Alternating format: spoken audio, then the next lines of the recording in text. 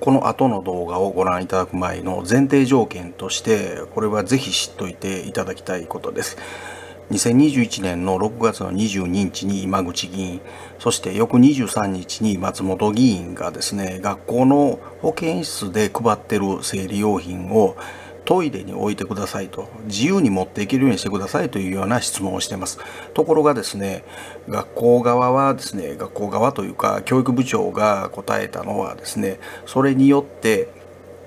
保健室で悩みを聞くんですというようなことでだから起きませんというような、まあ、ゼロ回答をしてるわけですよね。でここでもだから280パックのうち140パックがあってとかねそういう質問をこう今口さんはここでしてますよ。これもリンク貼っときますんで概要欄で見てください。でこっち側ではですね翌日松本議員も同様にですねお話をされてますこれについてもリンクを貼っときます全くもって素晴らしい質問だというふうに考えてます。で時期をよう見といてくださいよ。2021年の6月22日23日なんですよね。でこの時にどういうことがあったかということです。2022年の1月ですけども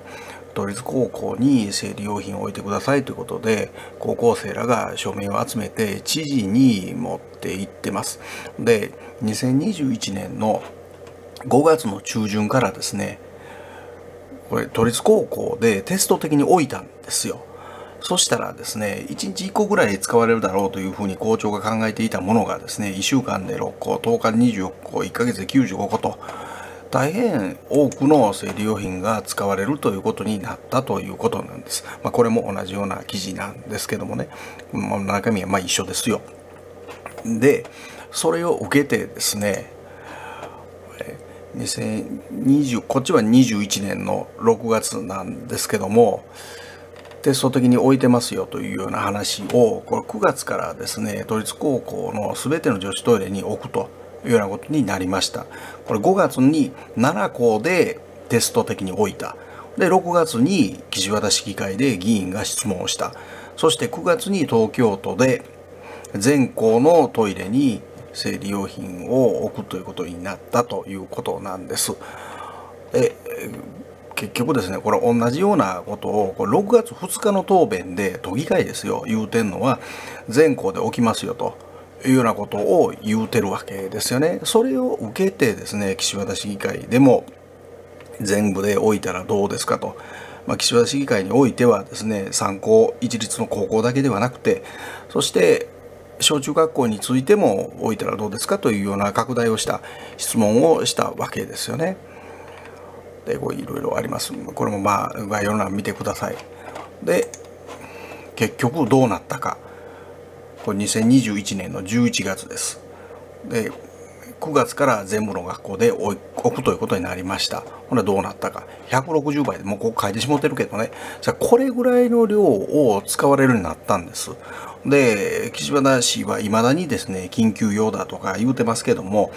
いる方が自由に持っていったらどうですかと。だからトイレットペーパーをいちいちくださいって言うて並ぶかということですよ。それと同じように作ったらええやないかいというようなことを私ももちろん言うてます。ところがその中でですね答弁調整があるというような形でそれをできないということを言うてんのは岸和田市自身なんですよね。でそれについて私も議員もそうですけども憤っておるということでこの後の動画に続くということを前提条件として先に予備知識知っといていただきたいというふうに考えます。誰もがこれは起こるでしょという話でございます。母校というでもいいでしょうか、えー、産業高校でございます。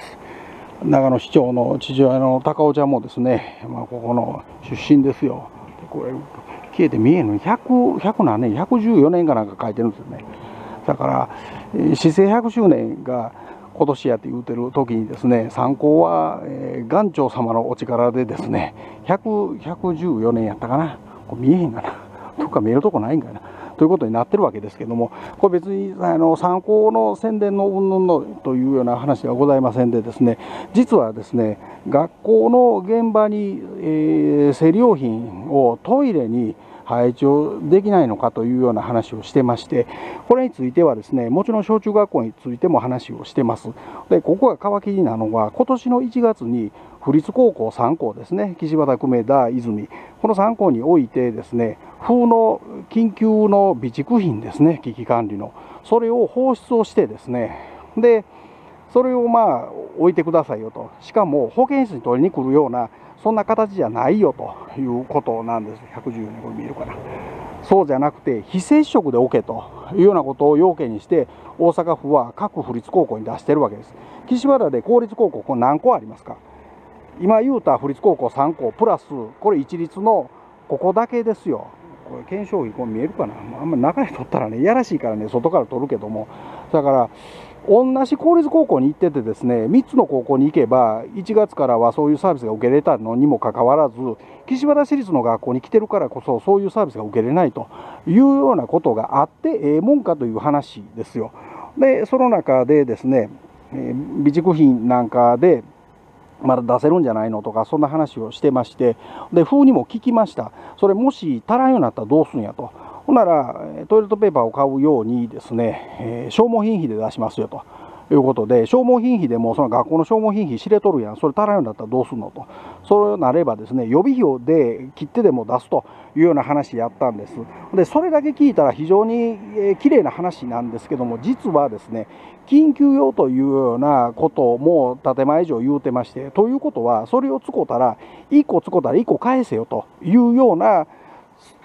仕組みでですね使えるようにしているところもあるということなんですよね。で、まあ、参考がどうするかっていうのは別なんですけども私はですねいやそれも使ったらええがなと。トイレットペーパーほんなら使った家からトイレットペーパー持ってくるんかという話ですよね。でまあそんなになったら、まあ、生理用品多少高いですからだからまあそんだけの予算また組まなあかんやんうぬかんぬっていうのも言われるんでしょうけどもほんで本題はですねそういうことではございませんで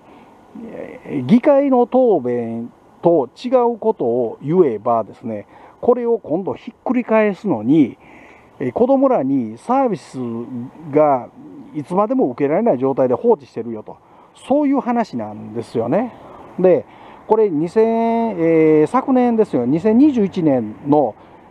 6月言ったかな？6月議会で第2回って言ってましたね。6月議会で松本妙子議員が質問をしてます。でその中でこれ3個だけ言うてるわけじゃないですよもちろん一律の小中にもトイレに配置したらどうですかというような質問です。